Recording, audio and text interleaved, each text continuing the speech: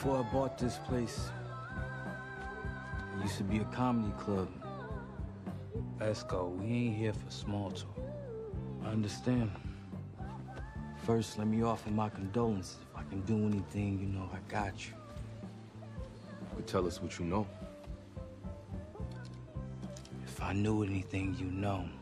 So you telling me you ain't have nothing to do with this shit? I got enough motherfuckers here at home to worry about. No disrespect to y'all, but here, at 139 in Lenox, I got bigger things on my plate. So what your soldiers on the street talking about?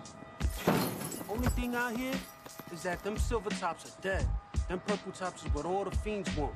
Even up here in the Bronx, y'all killing it out here.